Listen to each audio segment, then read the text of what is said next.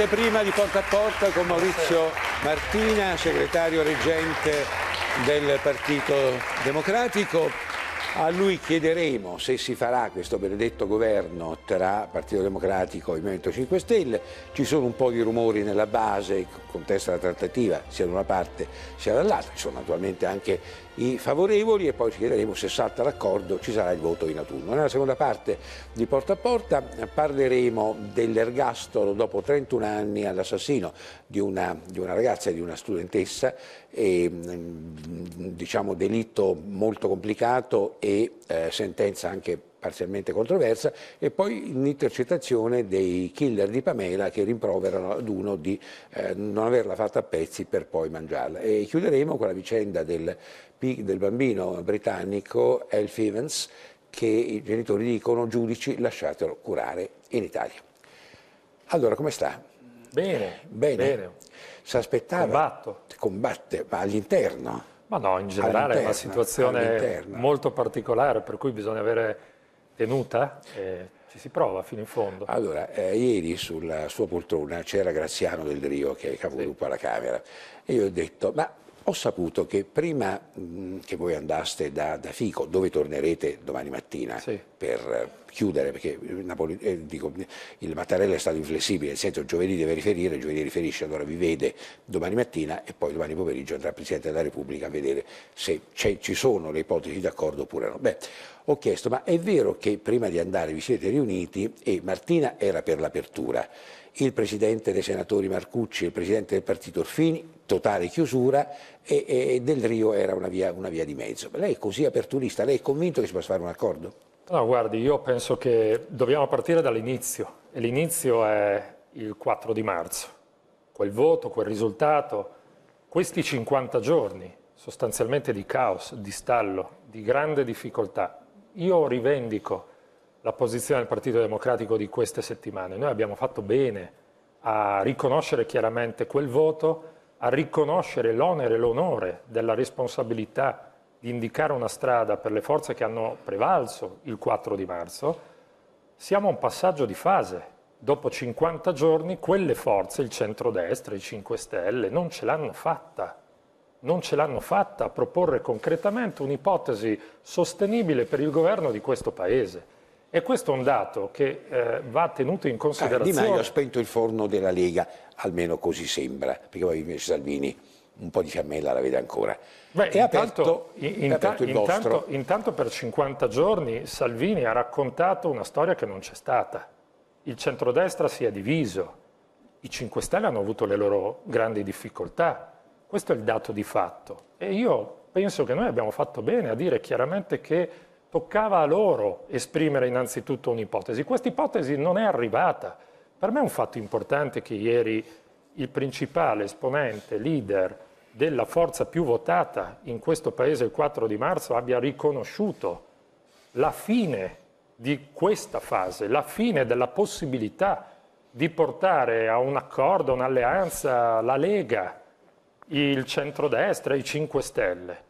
Non ho mai immaginato che questa prospettiva fosse una prospettiva utile per il Paese. Ho sempre detto, e lo dico ancora Vabbè, oggi, che sarei Ieri preoccupato nella, da un governo a guida leghista. Nella dichiarazione eh, Di Maio non ha citato se stesso come candidato Premier e invece sappiamo che lui tiene molto a questa, ma è già una prima concessione o se ne è dimenticato? Diciamo? Guardi Vespa, per serietà io non mi voglio avventurare dentro uh, queste valutazioni perché ho il dovere adesso di provare a capire se eh, il mio partito riesce a contribuire a sviluppare un confronto utile per il Paese e il confronto che abbiamo aperto anche al nostro interno rispetto a questa ipotesi di lavoro va rispettato.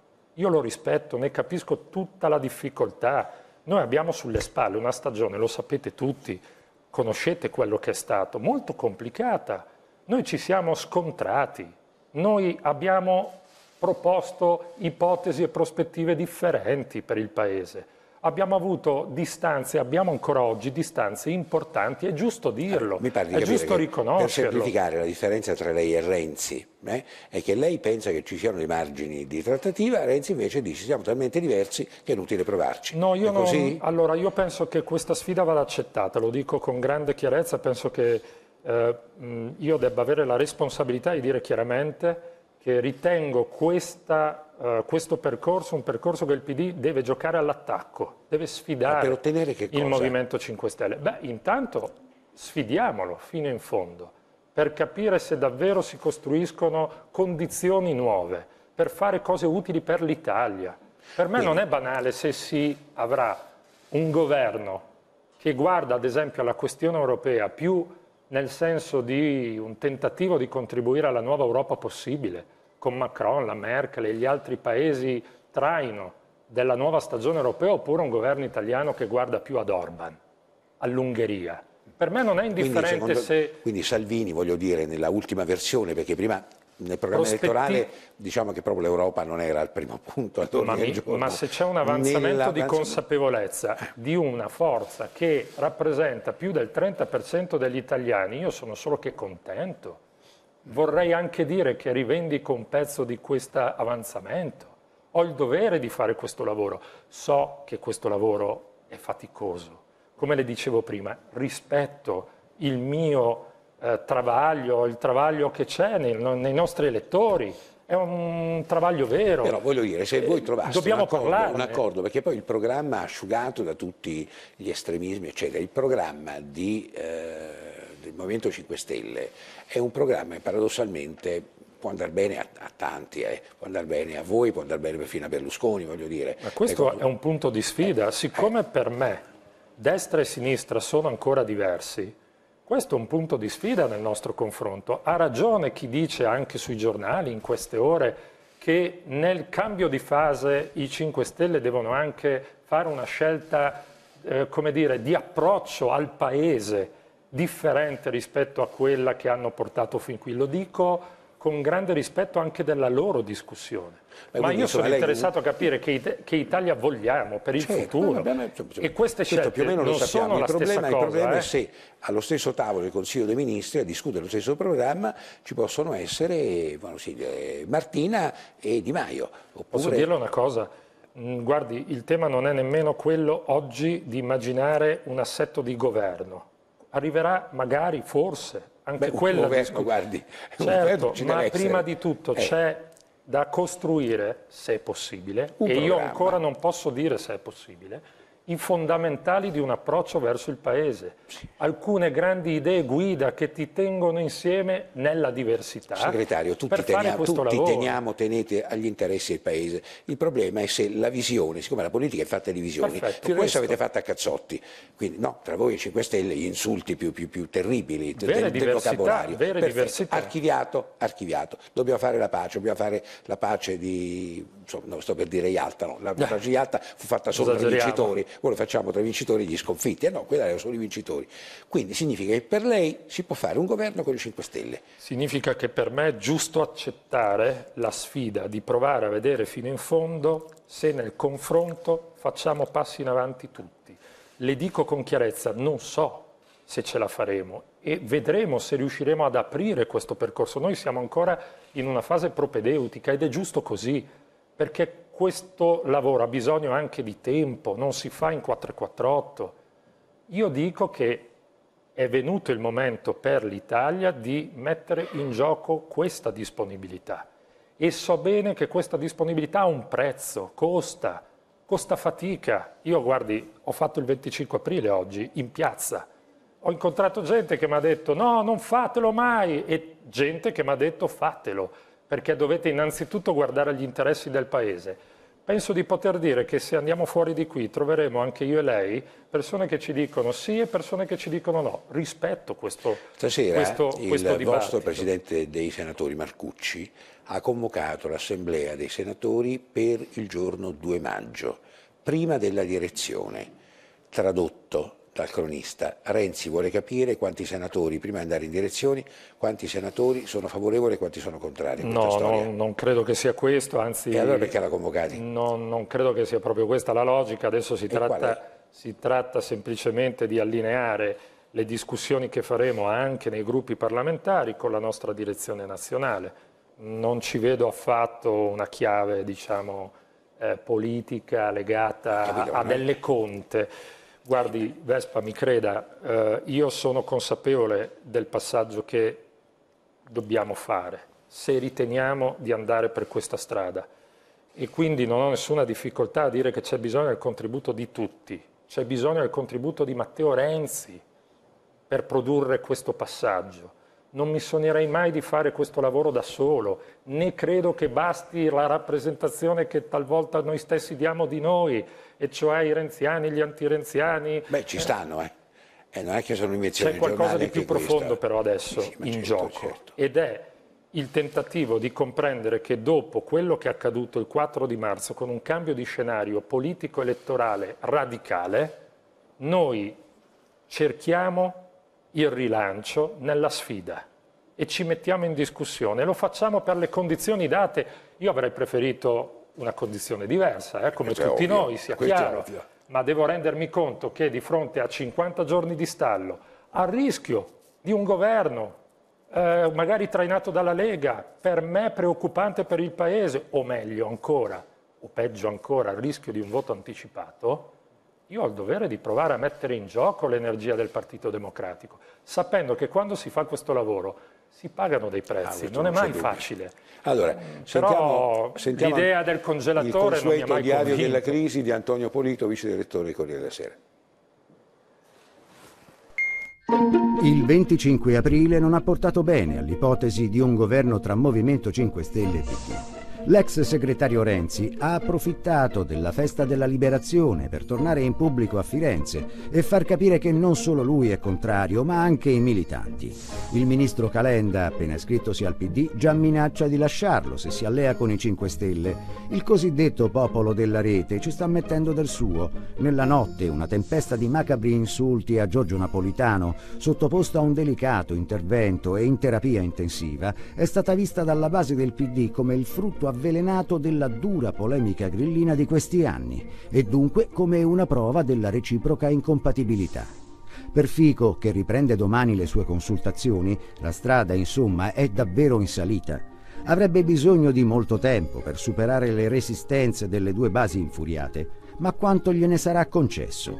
La vera novità della crisi, infatti, è che gli schieramenti si stanno ormai pericolosamente dividendo in due gruppi trasversali quelli che provano a fare l'accordo, Di Maio in testa, hanno cominciato a dire che è l'ultima spiaggia, escludendo esplicitamente ogni ipotesi successiva di governo di transizione, di garanzia o del Presidente.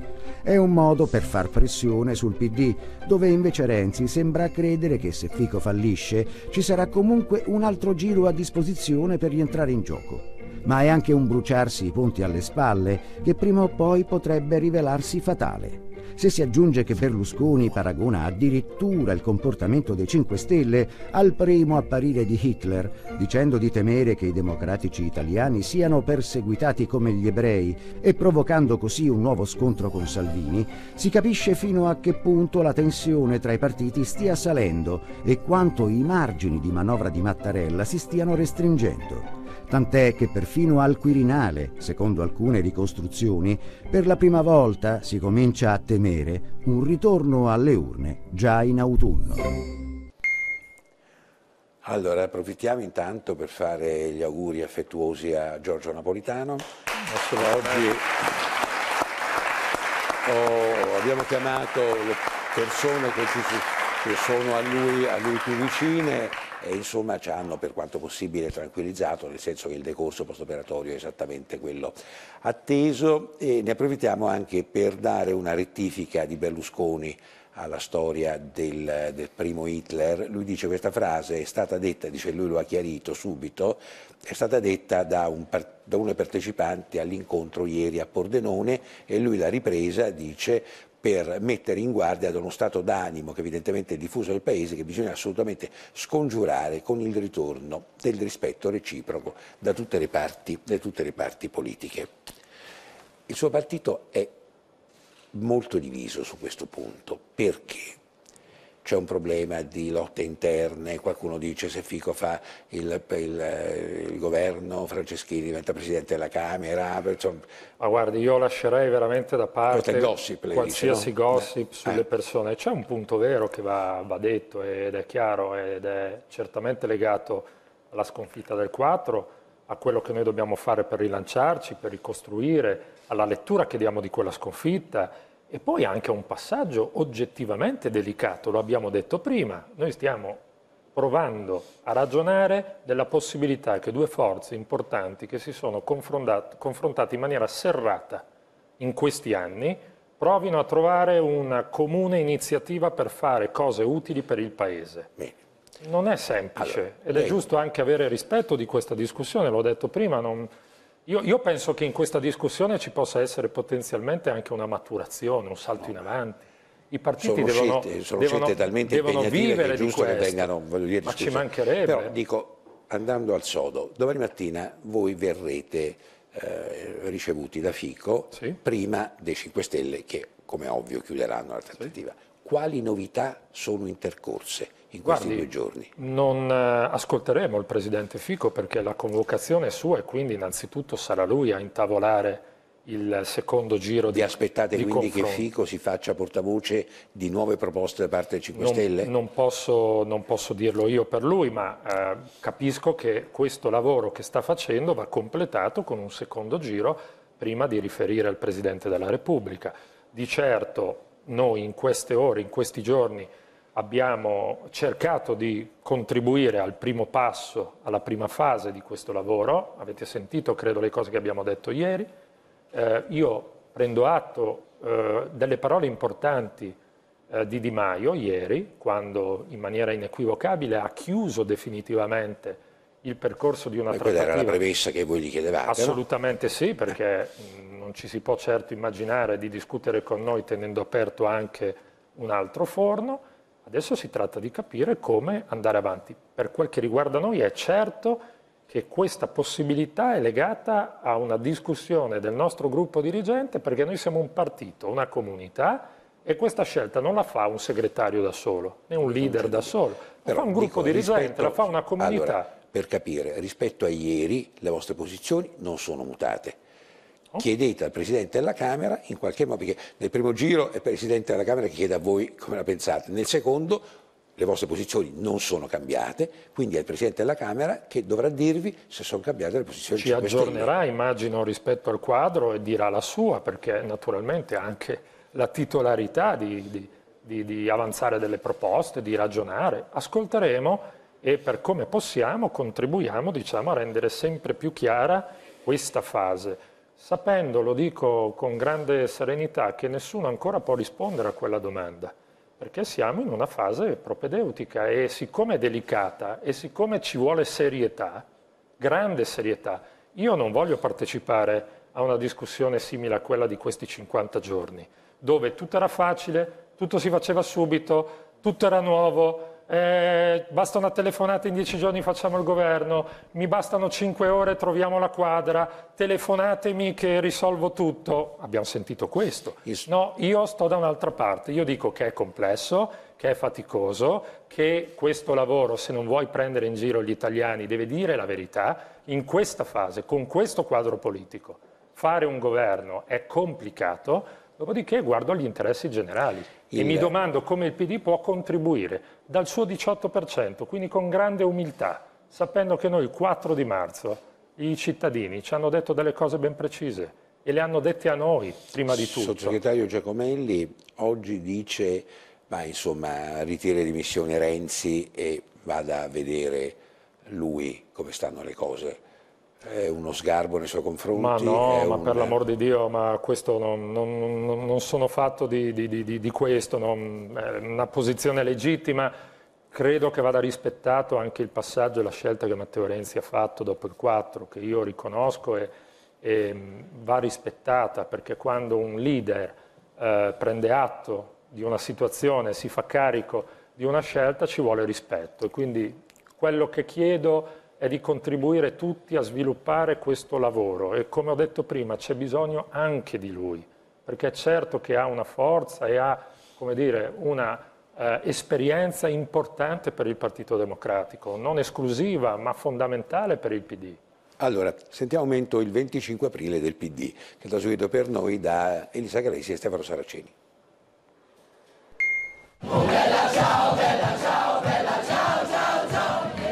Sinistra deve allearsi con i 5 Stelle per fare un governo o no? Abbiamo un'altra domanda? Fare o non fare il governo con i 5 Stelle? Il dilemma attraversa il 25 aprile del Partito Democratico e di tutta la galassia di sinistra. Divide i dirigenti tra loro e anche la base. Per una parte del PD, quella non renziana, bisogna cogliere l'occasione e accettare il dialogo. Governo con i 5 Stelle si deve fare? Vedi, eh, io penso che il modo migliore di non essere subalterni ai 5 Stelle è vincere le elezioni, punto primo sta cambiando tutto, almeno discutere penso che sia una di quelle cose alle quali non possiamo rinunciare. Questa è la giornata delle radici, eh, della memoria e credo che ci dica tanto anche di quello che dobbiamo fare. Matteo Renzi da Firenze si augura sia una giornata di riflessione oltre che di memoria. Lui è per il no all'accordo, ma tra i dirigenti cresce il fronte del dialogo. Via Tasso, Museo della Liberazione. Se c'è un programma che ha un senso si può anche verificare. Il Partito Democratico deve innanzitutto ricordarsi che 4 milioni di suoi elettori hanno votato Movimento 5 Stelle. Al corteo dell'Ampi invece, tra pugni chiusi e cori che intonano Bella Ciao, l'accordo non trova molti fan. Io sono iscritta al Partito Democratico e questi nuovi movimenti che si vanno a definire né di destra né di sinistra non stanno facendo politica. Cosa pensi che dovrebbe fare adesso il PD? Provare a fare un governo con i 5 Stelle o no? No, credo di no. No, secondo me no, perché ogni partito a sé dovrebbe essere votato dalla gente per la scelta che fa. Ma i 5 Stelle sono di sinistra? Assolutamente no. È ciò che è meno di sinistra insieme a Salvini in questo momento in Italia. Non si può dire che il Movimento 5 Stelle sia di sinistra perché non fa politica di sinistra, fa politiche europeiste, loro hanno detto che volevano uscire ma poi non sono più usciti. Anche qui a spingere per il dialogo sono i dirigenti. Beh, il PD deve discutere e deve attentamente valutare le proposte che verranno fatte. E sono per l'accordo i sindacati. E noi ci interessa che ci sia presto un governo perché abbiamo tante trattative in piedi, difficili e complicate. Il PD deve provare a fare un governo con i 5 Stelle, secondo lei? Secondo me sì, anche perché è l'unica opzione parlamentare. Ma i 5 Stelle hanno qualche cosa di sinistra o no? I 5 Stelle hanno la base sociale di sinistra. Bel dilemma che solo la direzione nazionale del PD potrà sciogliere con una conta e poi si vedrà. Perché la conta? No, cioè, si Beh, può anche dove... discutere e magari trovare una quadra più che una conta. Beh, non crede che poi vi conterete in direzione, no? Cioè lei pensa che guardi, dalla direzione so, spera che io, ci sia una, io, un voto io, unanime? Io lavoro perché ci sia la massima unità possibile e credo che tutti lavoreremo per questo nella chiarezza, ma senza neanche immaginare che adesso il passaggio è solo tutto in capo al Partito Democratico e alla sua direzione, perché francamente io voglio ricordarvi che cosa è accaduto in questi 50 giorni e quanto sono stati incapaci le forze che hanno prevalso il 4 e che hanno semplificato tutto come ricordavamo prima. Allora, nel vecchio, partito, nel vecchio partito comunista si discuteva, ma poi in nome del centralismo democratico alla fine si votava tutti insieme. Prevede una soluzione di questo genere? Cioè grande discussione democratica, ma poi alla fine compatti Guardi, senza, nel sì o nel no. Senza evocare il centralismo democratico, eh, mi aspetto che il partito sia un partito, faccia la comunità e quindi discuta, abbia rispetto delle posizioni di ciascuno e poi quando sceglie sia ovviamente coeso, unito. Senta, lei parlava nel, nel filmato di giornata appunto della, della, memoria. Non le pare un po' stravagante che, con tutto il rispetto per i palestinesi e per le loro sofferenze, nel nostro corteo ci siano i palestinesi, ma per ragioni ovvie non ci sia la brigata ebraica che ha fatto la resistenza e che oggi è stata pure coperta di insulti? Mi è spiaciuto, mi è spiaciuto ho capito della divaricazione che c'è stata in particolare qui nel corteo di Roma. Eh, noi abbiamo bisogno di memoria condivisa abbiamo bisogno di memoria condivisa e se posso dire anche rispetto a questi nuovi fenomeni, eh, oltranzisti, estremisti, neofascisti che ci sono, eh, mi, ha colpito, mi, hanno colpito le parole di questa staffetta partigiana che ho incrociato questa mattina nel corteo, la staffetta partigiana Luce, che voglio salutare perché la segue sempre, l'ha detto lei, giuro. Lei ha detto ricominciamo dalle scuole, lei va nelle scuole e dice ricominciamo da lì perché i sentimenti di intolleranza li, eh, li, li, coglia, li cogliamo già nelle scuole elementari, nelle scuole medie, raccontava di alcune sue esperienze in queste scuole dove capisci già dove purtroppo attecchisce il germe dell'intolleranza. Allora io vorrei dire almeno oggi proviamo davvero tutti insieme a fare questo lavoro, ripartiamo dalle scuole. Allora, il nostro eh, Mauro Giliberti e Giulio Menenti sono andati a caccia di Matteo Renzi al 25 aprile di Firenze. Vediamo che cosa è successo. Presidente, buongiorno. Ciao.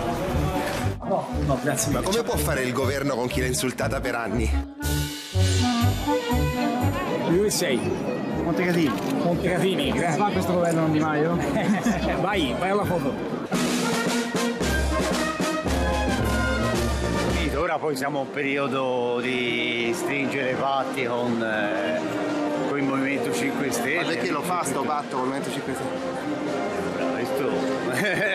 Lei con la bandiera rossa sarebbe contento?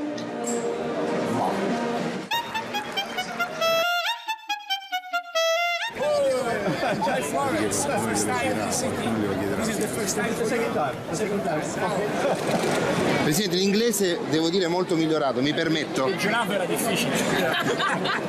Peggiorave era, era un po' complicato peggiorarlo rispetto a quello che già è, no? Anzi, mi esprimo. E no, no, migliorato molto rispetto a per esempio, per esempio, five stars, non riesce a tradurre? No. Five stars. Five stars si, si traduce spostati più in qua che bisogna ascoltare in Dardella. Five stars. Dai, falla finita. A tutti e buon 25 aprile!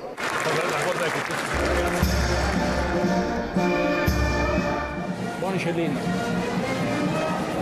Fratelli d'Italia, l'Italia se desta dell'elmo di Scipio se ginta la testa. Pronti alla morte l'Italia chiamò sì! Sentite lui, è l'opposizione di Firenze, Tommaso Grassi, a sinistra, tutti i partiti. E, e lei Presidente in maggioranza in opposizione, che poi questo noi non stiamo capendo. Tu sei.